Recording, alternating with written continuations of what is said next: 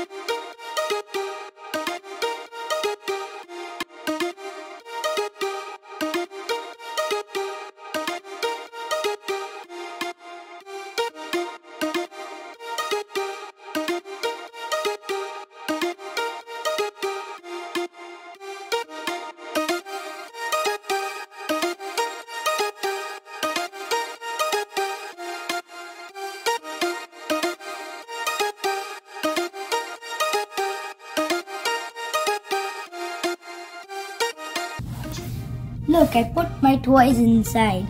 And this is boy is outside and cat is outside. And then the girl is looking if the boy and cat are playing.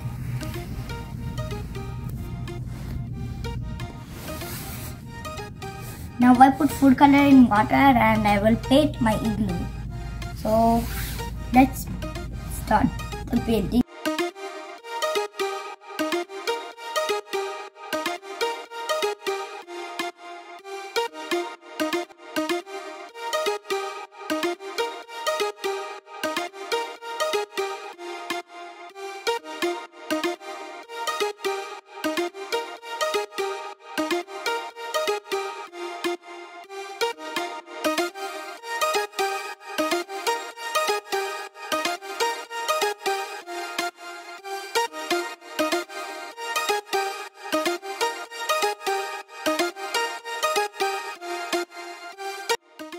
This is the way to build this igloo and paint it.